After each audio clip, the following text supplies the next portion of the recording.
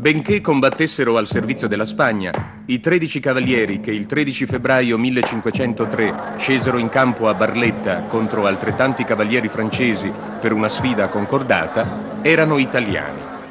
La loro vittoria, celebrata in un romanzo famoso di Massimo d'Azeglio, assunse subito il valore di una smentita, limitata ma efficace, alla leggenda degli italiani che non si battono.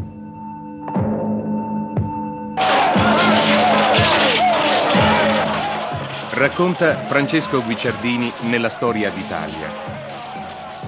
Rimbombando l'aria di suono di trombe e di tamburi, di tuoni d'artiglieria e di plauso e grida militari. Degni che ogni italiano procuri quanto in sé che i nomi loro trapassino alla posterità mediante lo istrumento delle lettere. Furono adunque Ettore Firamosca Capuano,